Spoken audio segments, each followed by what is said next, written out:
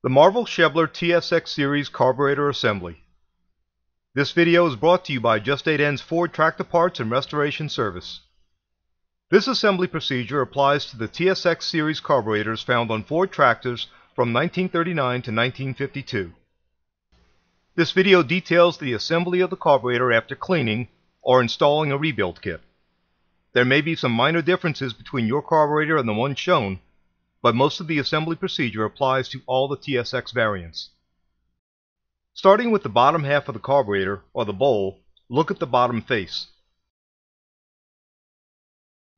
The strainer retainer expansion plug is not normally removed from the carburetor bowl, but if it needs to be installed, press it in the hole in the bottom of the carburetor bowl as shown. Screw in and tighten the drain plug.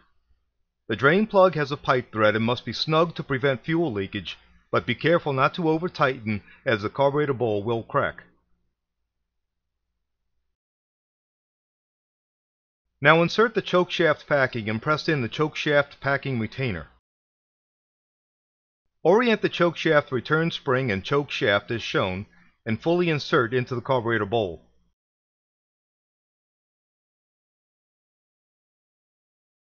Grab the choke fly with a pair of needle nose pliers and insert it into the slot in the choke shaft.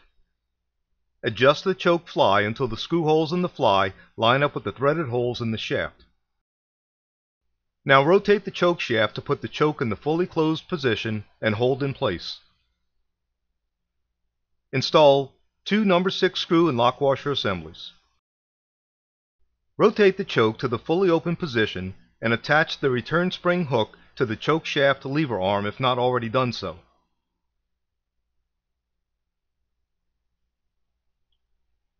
The main jet is installed in a hole located at the bottom of the main fuel passage. Insert the main jet in the hole and tighten, being careful not to over-tighten and damage the screw slot. It's advisable to file down a flathead screwdriver so as to fit snugly in the main jet's screw slot. This prevents damage to the slot, allowing for easier removal when necessary. Place a gasket on the main nozzle and install the nozzle in the main fuel passage. Screw in by hand and then snug it up with the socket wrench. The relative locations of the main jet and nozzle are as shown in this cutaway.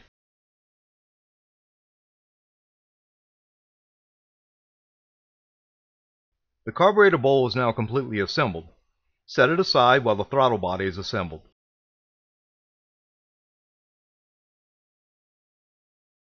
Insert the throttle shaft packing in the throttle body as shown. Press in the throttle shaft packing retainer until it's flush with the surface.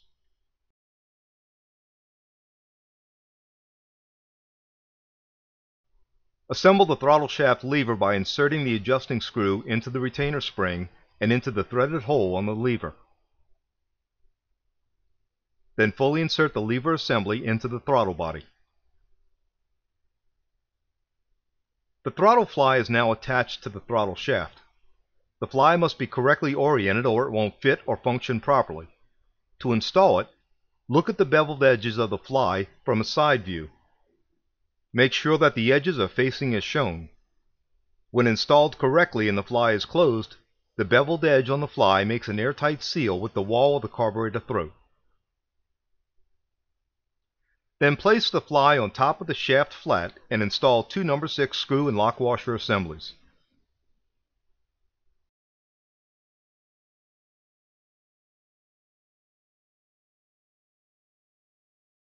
Screw in and tighten the fuel elbow and strainer and orient as shown.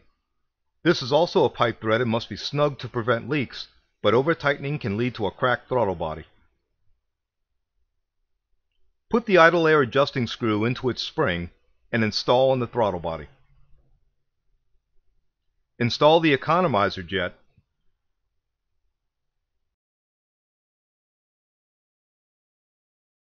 and then the idle jet.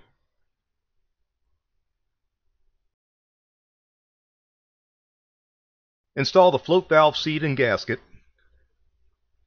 and then place the float valve into the seat. Place the Venturi on the throttle body throat base with the larger diameter below the smaller one. Place the carburetor gasket on the throttle body. Carefully push the Venturi through the opening in the gasket as it is placed on the mating surface. Now insert the float hinge in the hinge support and slide in the float pin. Before assembling the carburetor halves, it is necessary to verify that the float lever arm is adjusted correctly.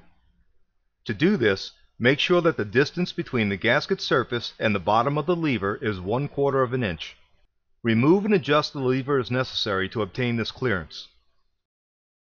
To adjust the lever, Use a pair of needle nose pliers clamped in front of the float hinge to bend the lever arms. It is best to do this in a few small incremental steps. Now lower the throttle body straight down on the bowl, being careful not to upset the float or venturi. Adjust the gasket and carburetor halves to align the screw holes. Install the four mating screws. Install the main adjusting needle with the spring washer and gasket.